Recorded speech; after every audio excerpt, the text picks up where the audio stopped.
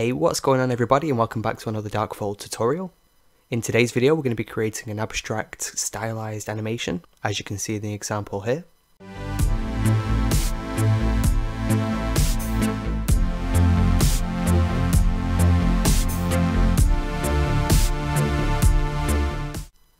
For this abstract animation we're essentially going to be using a particle system, some volumetrics and a whole bunch of compositing and finally we'll be using the default cube, which may be the first time I've used it in a tutorial from the beginning. I don't know, maybe you guys can let me know if you've seen me use a default cube before. First thing we can do is go ahead and align the camera, so I'm going to go to the front view by pressing number pad 1. And now we can align the camera to this view, so I'm going to hold Control, Alt and number pad 0. Then we can select the camera, press G, and then just move it up on the Z axis. Now the default cube is going to be used with our particle system, so we can just grab this and move out of the way for now. And since we have this selected, let's go ahead and give this a material. Find the material properties, which is this one here. And by default, this cube already has a material, so what we can do is go to surface, change this from a principled shader to an emission shader. And we go ahead and change the color and the strength. So we will come back and increase this a little bit later on. What we can do now is change this from solid view to rendered view. So I'm going to go up here and click this button. So as I mentioned, we're going to be using a particle system. So we're going to need an emitter, so Shift A. I'm going to go to Mesh and add in a plane. Again, you can add in any other type of object that you want to emit your particles from. That's entirely up to you. Then I'm going to press G and then just move this up out of the way. And if you want, you can scale it up as well. So I'm going to press S. Let's also grab this light and bring this over. So I'm going to press G. And now we can add in a floor plane. So Shift A, Mesh, Plane, scale this way up. Then I'm going to move this on the Y axis, so I'm going to press G, press Y, move, move this back. Now let's go back to our emitter, so I'm going to select this plane here, and let's go to the particle properties, which is this icon here.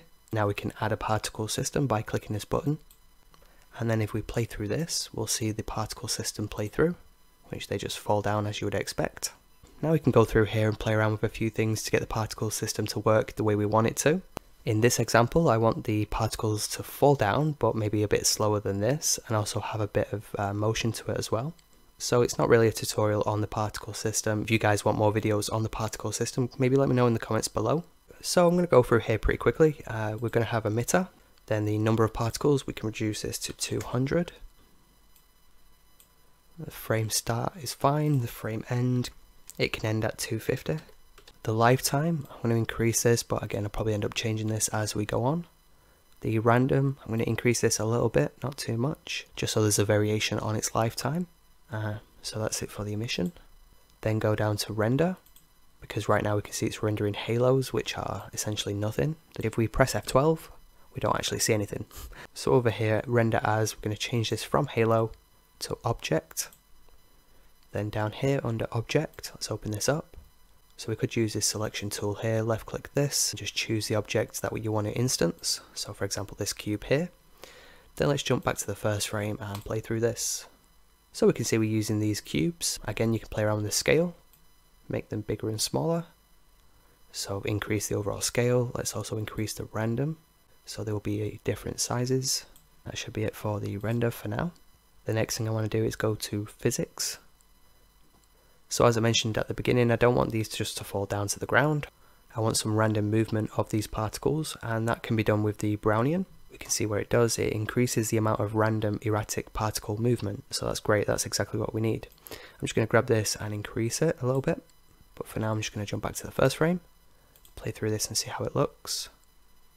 So we can see it's more random, I'm going to increase this maybe a bit more.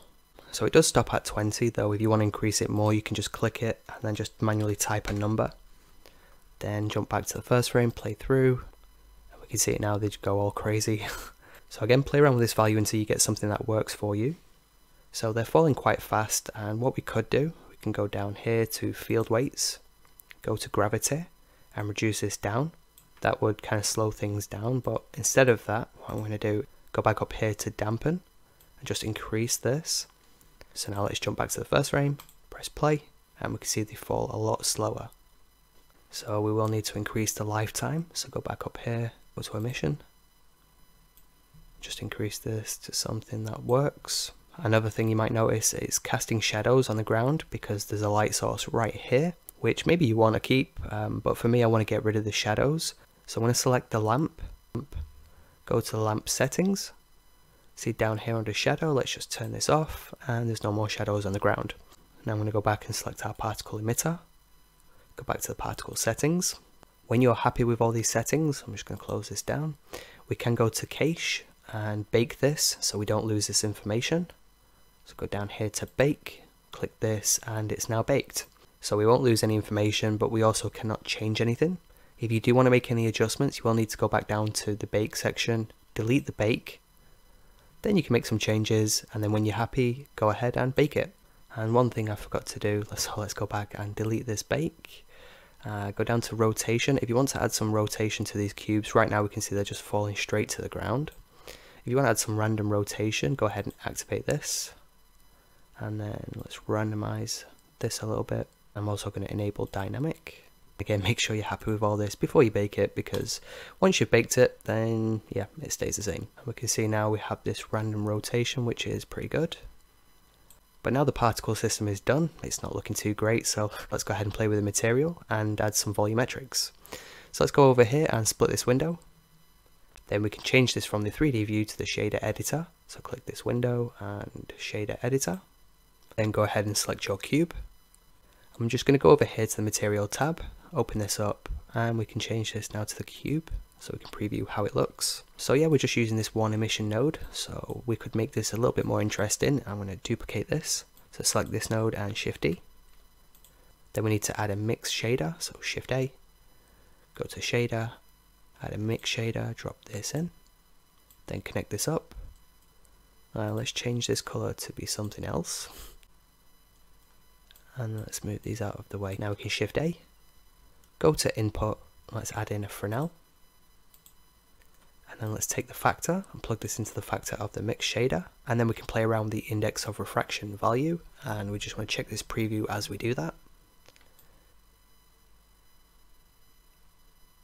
So that looks interesting. Again, you can do this any way you want. Okay, let's check this out in the 3D view. We can see as it moves around, it sort of switches between these two colors. Let's go back to the shader editor and change these colors now. So we can see it adds more visual interest. And you can do this a number of different ways. So again, play around with the material till you get something that you're happy with. And now we can move on to the volumetrics. So over here, let's change this from object to world. So if we go over here to the world properties, you can just see we have this background. If we go down to volume, we could add something here for the volume. So I'm going to click this. So we could use either of these. I'm going to use volume scatter.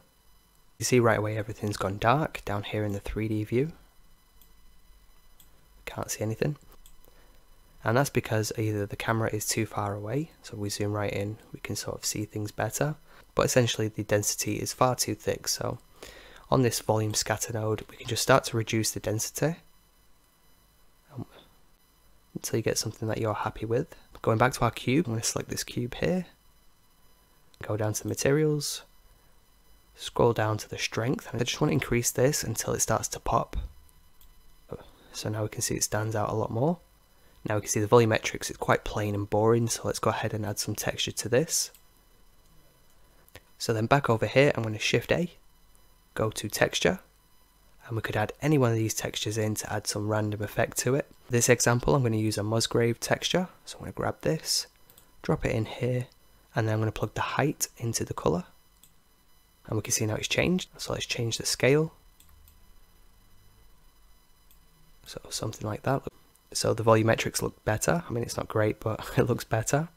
One problem is as we play through this, the volumetrics or the clouds just stay still, they don't move, which doesn't look too good. So what I'm going to do is go over here, go back to the Musgrave texture and actually make it move. Now if you have the Node Wrangler add-on enabled, your job's a lot easier. Just select the node, then press Ctrl T. It will then add a mapping node and a texture coordinate node. If you don't have the Node Wrangler add-on enabled, just Shift A, go to Input, and then Texture Coordinate, Shift A, down to Vector, then add a mapping node and just connect them up. So that's the generated into the vector, vector into the vector, and there we go. So yeah, we can move this volumetrics around. We can move it left and right.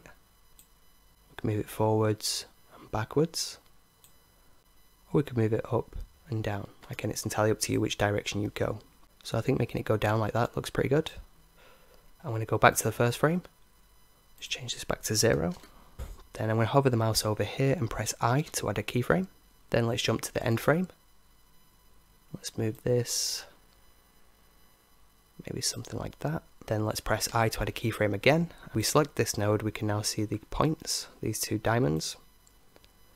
And it moves up and down, which is pretty good. Uh, one problem is the motion, it speeds up and then slows down. I want this to move at a constant speed. So in the timeline, I'm going to press V and change this to vector. And now we can see the motion is constant, so that's good. I'm happy with this and we can move on. Now before we move on to the compositing, we can actually make this look a lot better by going to the render properties, select this icon.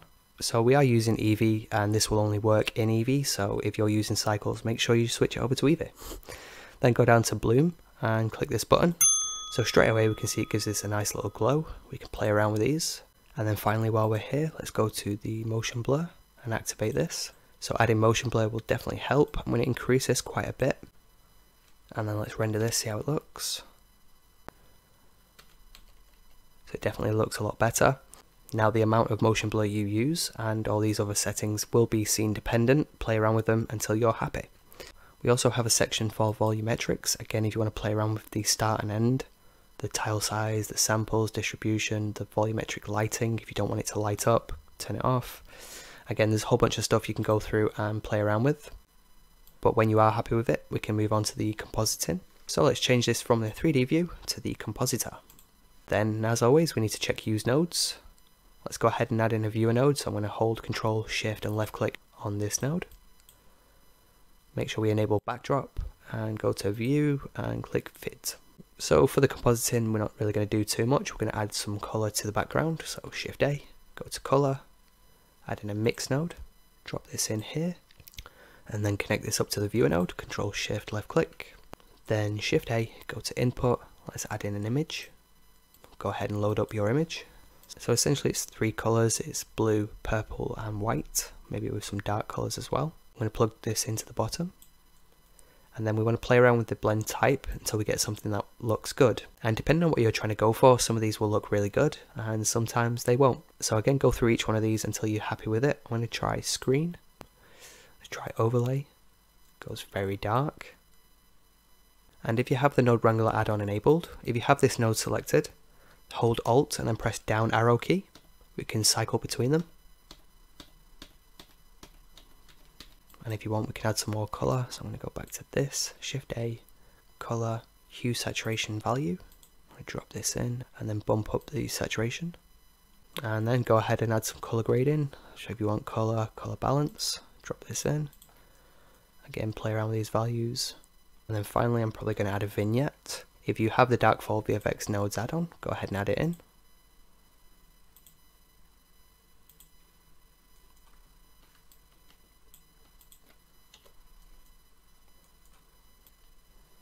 And then when you're happy with it and you want to render this out, if you have the VFX nodes add-on, you can just go to the render settings and change all these. But if you don't, uh, we can go over here to the properties, make sure we set the resolution, make sure we set this to 100%, set the start and end frame, then go to the output, let's set the output where this is going to save to. Then for the file format, we want to select this and change this to FFmpeg video.